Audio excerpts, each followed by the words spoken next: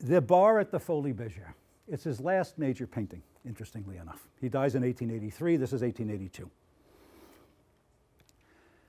It is in a cafe concert, is the term that was used in the 19th century. In other words, a cafe where there is entertainment that goes on. You can see somebody on a trapeze, and there are others back there. We needn't worry about that kind of thing. I mean, it's sort of like our cafes where you have jazz music or, or poetry readings or whatever, but, but it, uh, and so on. This is the barmaid. And she is on a bar which is filled with Ganymede, as they say, with sumptuous, elegant stuff, lovely wine, uh, fabulous oranges, lovely dishes, so on and so forth. And she watches the patrons whom we see through the mirror. Okay? Whom we see through the mirror. She is dressed in a costume which is not her own. That is, it is a costume that is given to her by the employee because she has to have a certain look. Okay? She's not going to make enough money as a barmaid to do that or to bring it in. And as one of my students uh, said, she looks as if she doesn't want to be there. okay? Uh, I, she, this, is, this is not a happy painting. Okay? It's not a happy painting.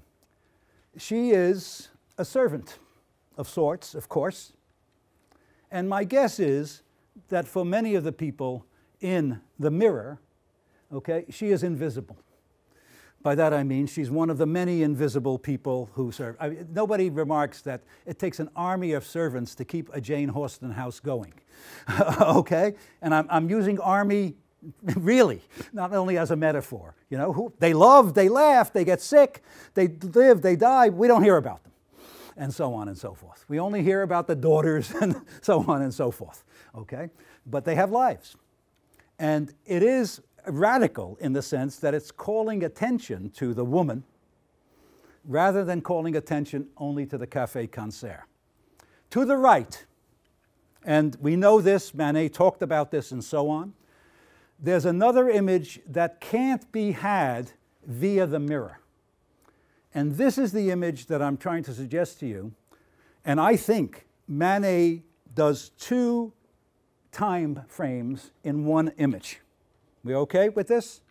The one time frame is the evening in the cafe concert. The other time frame is her reflecting on what is going to happen to her at the end of the evening. And it is, of course, not very nice. That is, there is a gentleman, a good bourgeois by his dress and so on, and his face, okay, who will proposition her. And it may well be, of course, that she has no alternative but to accept that proposition as part of being a barmaid and making a living. So there is a downside. That's all I'm trying to get at. There is a downside. Baudelaire wrote of this. He, he wrote a wonderful prose poem in Paris Spleen. Uh, it's called Les, Les Yeux des Pauvres, uh, The Eyes of the Poor. And, and he has the, the glittering streets and the glittering cafes and the narrator is a gentleman sitting in the cafe, and he says, My, There was so much food on the table, I could never eat it. In other words, uh, there's so much uh, wine in my glass, I could never drink it all, uh, and so on. And then an old man with a, carrying a young child looks at him through the window, you know? And his companion says, Get them out of there, they're bothering me. And he says, But, but they, are, they live too. I mean, you know, there's an, there are interesting issues that are being floated around. I'm not arguing that he doesn't love the cafe concert, that he doesn't love the abundance of bourgeois society. That's not what I'm arguing. He does. But at the same time, he's willing to point out contradictions in the society. That's all I'm arguing. In other words, it's not simply praise, but rather it's the artist in society. Now, here's where Impressionism in society comes, okay, acting as a critique, a critic of his society. There are things that need to be done. Okay? There are changes that need to be made. In this case, obviously, changes in gender and in class. And these are, of course, very big issues not only in France, but in all of Western culture at this particular time. So, what I'm suggesting to you is that the Impressionists really do change certain kinds of uh, ways we perceive things. A, aesthetically, you capture the moment. Life is becoming, okay? B, what is a painting? Uh, whatever I present as a painting. Uh, that is, that, that, that we don't have to obey those old. Notice, no horses, okay? Okay? No uh, allegories from the Bible, okay? Uh, no uh, Baucis and Philemon from Ovid, uh, no Romeo and Juliet. None of that stuff. They relentlessly, as I said, are, are contemporary. Thirdly, in a number of the class and, um, how shall I put it, and gender issues that are floating about modernity.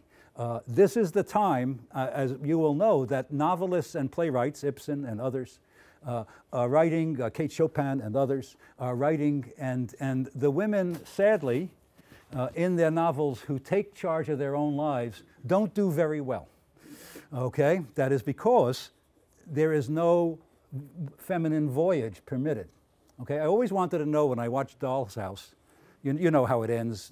You know, she walks out, slams the door, curtain, okay, Nora, and so on. Okay, I always wanted to know what happened to her after she slammed the door.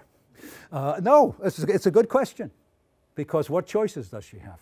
The closest thing, and it's a 1950s event, is the film The Hours okay, in, in, which, in which the woman becomes a librarian in Toronto, yeah, yeah. uh, and so on. But, uh, but, but, you know, out of the Mrs. Dalloway issue.